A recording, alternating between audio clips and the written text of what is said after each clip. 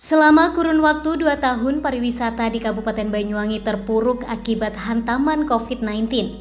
Namun kini pelaku wisata bisa menghirup angin segar sebab tahun ini diprediksi akan ada kenaikan jumlah wisatawan bertepatan dengan momen lebaran dan diberlakunya pembukaan tempat wisata 100%. Guna menghadapi peningkatan jumlah wisatawan saat libur lebaran tahun ini, pemerintah Kabupaten Banyuwangi melalui Dinas Kebudayaan dan Pariwisata Banyuwangi telah membuat strategi guna menghadapi pembludakan pengunjung. Muhammad Yanuar Bramuda, Kepala Dinas Pariwisata Banyuwangi bersama Pok Darwis setempat akan menerapkan etiketing untuk menghindari tumpukan pengunjung di loket penjualan tiket. Bramuda menambahkan kendati wisata dibuka 100% namun protokol kesehatan tetap diterapkan.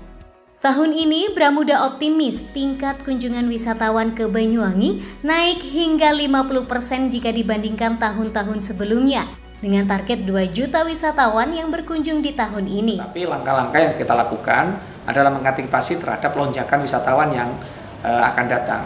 Kita sudah melakukan rapat koordinasi dengan hotel, restoran, dan Podarwis untuk mengantisipasi terjadinya lonjakan. Maka yang kita lakukan adalah pertama-tama kita tetap melakukan protokol kesehatan menggunakan aplikasi peduli lindungi dan kami sudah menerapkan sistem aplikasi online bertiket yang intinya adalah bagaimana di setiap destinasi bisa kita pantau jumlah kunjungan wisatawan. Guna menarik para wisatawan, Bramuda menyebut akan membuat festival pesisiran di mana setiap pantai di Banyuwangi akan menggelar atraksi-atraksi pertunjukan tradisi dan seni lokal Banyuwangi secara terjadwal.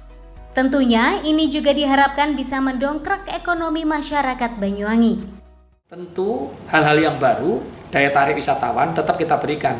Salah satu contoh nanti kita akan menggelar namanya Festival Pesisiran, di mana setiap pantai di Banyuwangi akan menggelar atraksi-atraksi seni dan budaya lokal Banyuwangi untuk menarik minat wisatawan yang datang ke Banyuwangi dengan jadwal waktu yang berbeda-beda.